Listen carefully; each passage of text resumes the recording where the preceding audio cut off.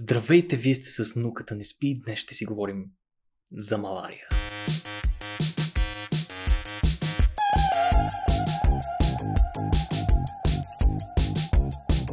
Но не по обичайния начин, демонстрирайки безпомощността на човечеството да предотврати поражението това коварно заболяване, ами напротив, днес ще си поговорим за първата и изключително обещаваща кандидат вакцина, която може да предостави трайно решение за един от най-големите бичове на човечеството.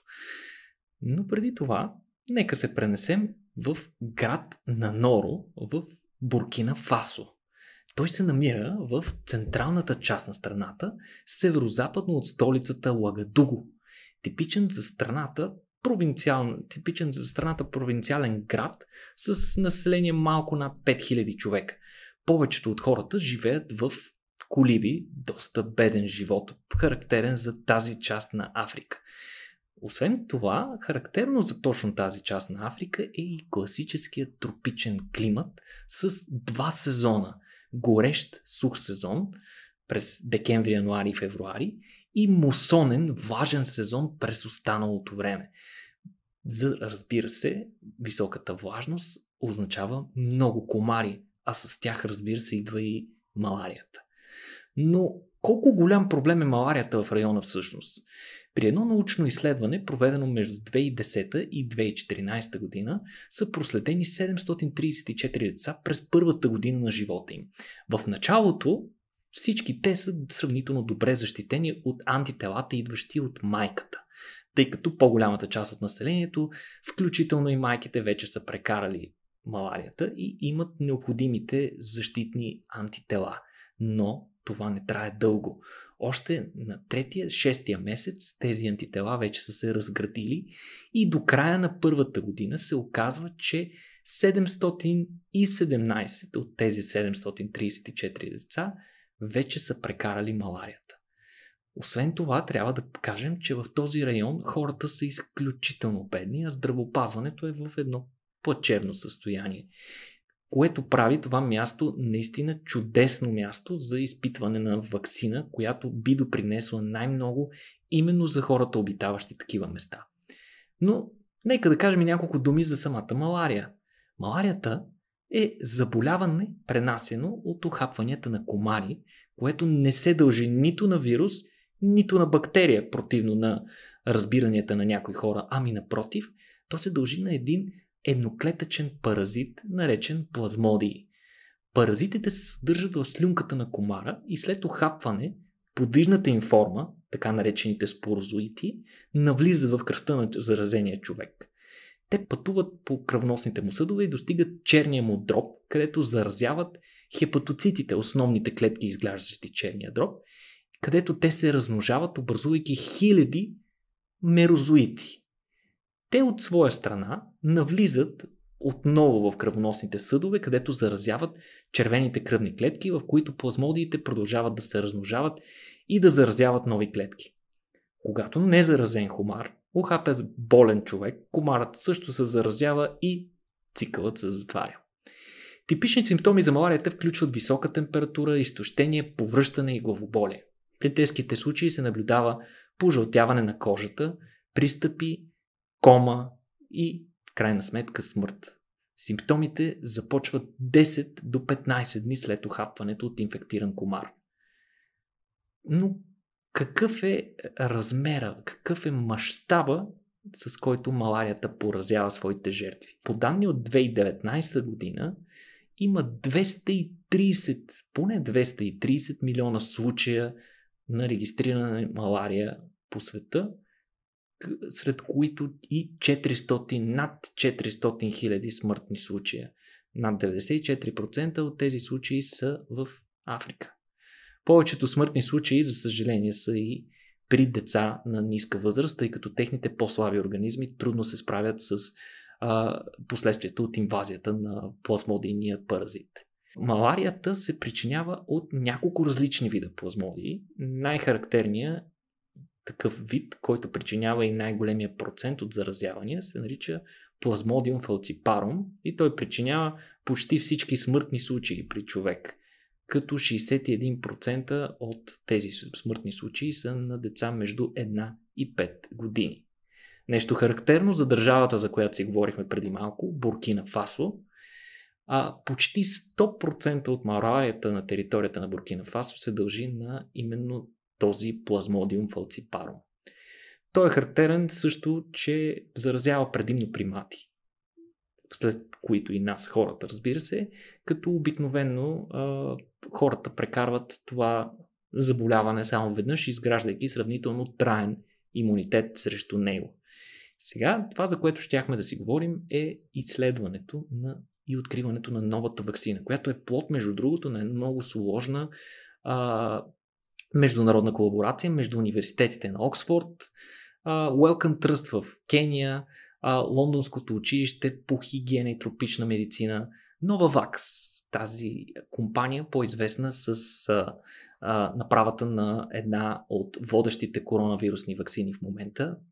И а, разбира се, най-големият а, институт за дизайн и създаване на вакцини, Серумния институт на Индия и разбира се здравните власти в Наноро, Буркина Фасо.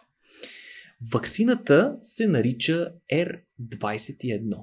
Тя използва един специфичен протеин, който се нарича CSP и е то, и характерно за него е, че той е силно консервативен протеин от паразита и се експресира в първата фаза от жизнения му цикъл, буквално в първия половин час след охапването на комара.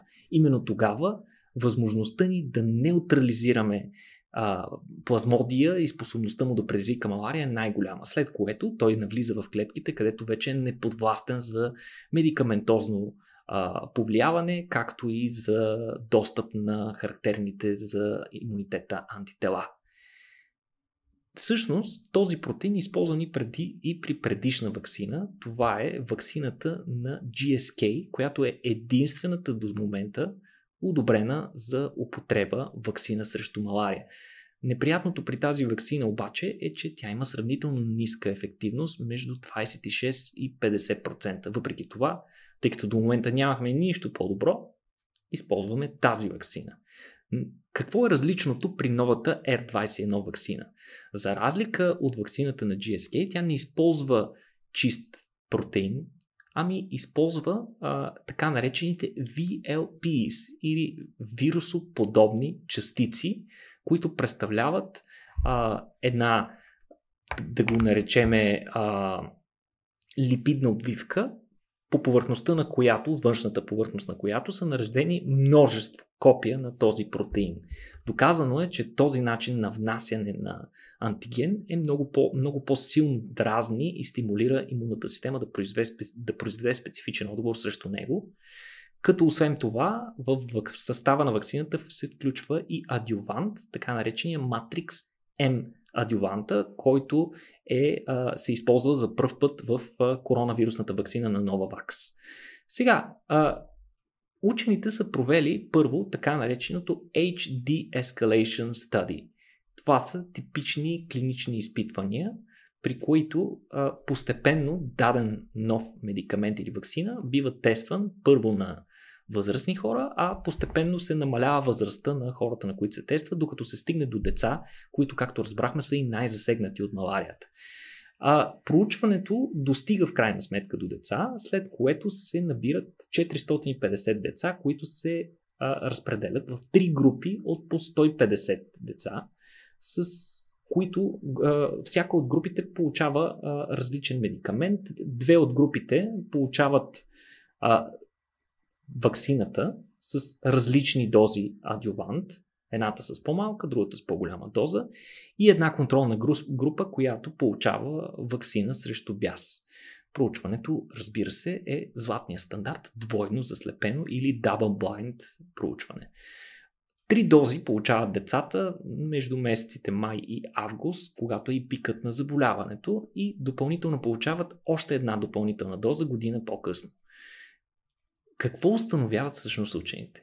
За, а, за голямо щастие на нас и на всички а, изследователи на маларията са получени много позитивни резултати, при които при групата с а, по-голямо количество адювант е демонстрирана 77% ефикасност, а в другата група с по-малко количество адювант 74% ефикасност.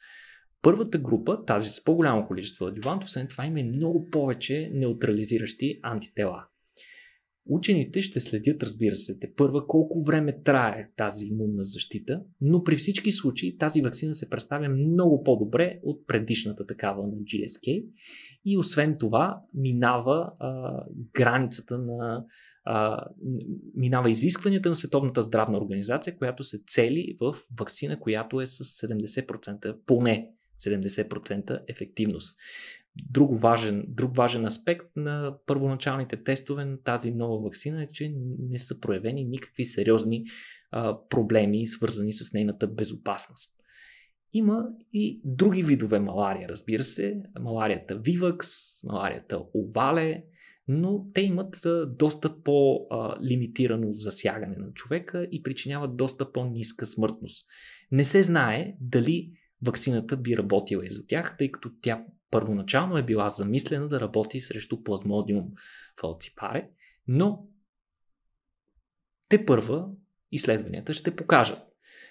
Те първа следва, разбира се, да се стартира и фаза 3 на клиничното изпитване в поне 4 различни държави, с различни маларинни сезони и с различни типове малария в съответната държава. Това проучване ще бъде много по-голямо, ще обхване поне 4800 деца и се надяваме а, резултатите да бъдат също толкова оптимистични, колкото и при тези първоначални резултати от фаза 2. Наистина това е едно от най-големите открития, вакцинални открития през последните години за една от най-тежките едно от най-тежките заболявания, което, както разбрахте, причинява смъртта на множество хора, предимно в Африка, влушавайки и без това лошото качество на живота.